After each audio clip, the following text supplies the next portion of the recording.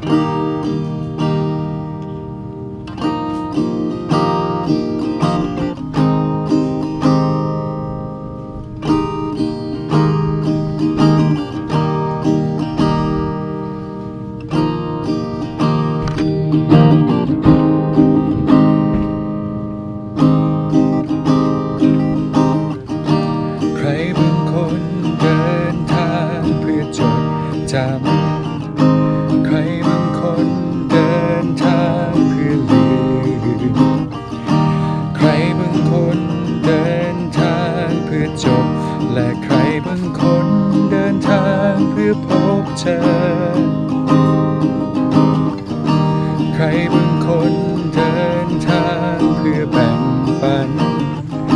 ใครบางคนเดินทางเพื่อรับฟัง และใครบางคนเดินทางเพื่อสร้างพลังให้ก้าวเดินต่อไป เราอยู่บนโลกที่ยังสับสน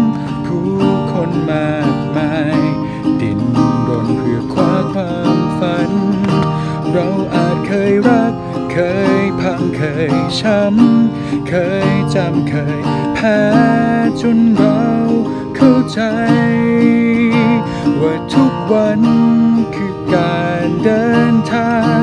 เรายังคงเดินทาง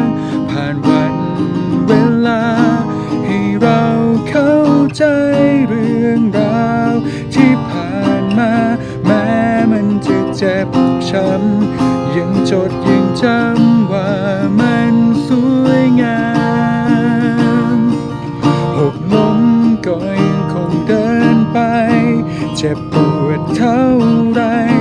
ไม่เคยเสียใจกับทางที่ใจฉัน